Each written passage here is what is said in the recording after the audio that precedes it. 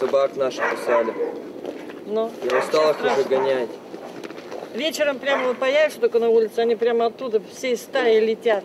Летят и кусают не только людей, но и других собак. Бездомные животные – проблема всего предместья рабочего в Иркутске. Стаи гуляют на каждой улице, и жители давно просят отловить четвероногих. На заявку приехал питомник К-9. Зверей хотели подкормить, но собачье чутье не обманешь. Опасность видят сразу. Поймать успели трех, остальные бросились бежать.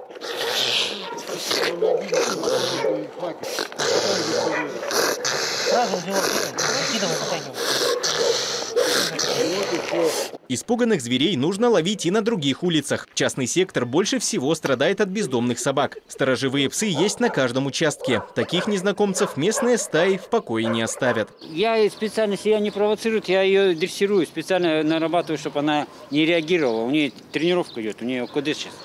Общий курс дрессировки послушания. Собак очень много.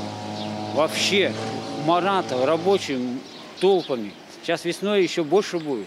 Сейчас свадьбы как начнутся у них, поэтому я считаю за, за того, чтобы собак вылавливали. Теперь на ближайший месяц место пребывания собак – питомник. Их осмотрят ветеринары, ведут лекарства и чип под левую лопатку. Для животного это своеобразный паспорт. По номеру можно определить место отлова, какие медпроцедуры прошла собака. Это делает работу прозрачной. Дважды одно животное ловить не будут. Второй раз это животное попадется, мы сканером проведем, и, и сканером проведем, и будет номер выйдет этого чипа, мы второй раз это животное ловить уже не будем. Второй раз мы деньги из бюджета за него получать не будем. Будет уже э, в базе данных, когда стерилизовали его, кто стерилизовал это животное.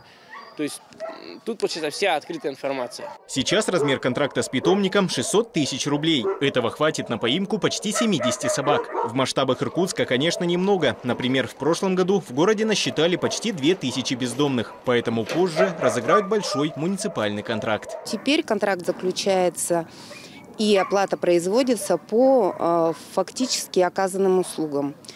То есть э, специалистами будут э, при приемке сдачи проверяться конкретно каждое мероприятие. Примерно будет затрачено на одну собаку в среднем 8,5 тысяч. Действие контракта до 29 апреля. Это с учетом передержки 20-дневной. Отловленных животных ждет 10-дневный карантин. За время передержки им нужно найти новых хозяев. Иначе собак вернут на улицу. Вести учет чипированных будет сам питомник. Отследить ход отлова можно на сайте К9. Захар Семенов, Константин Синицын, АСТВ.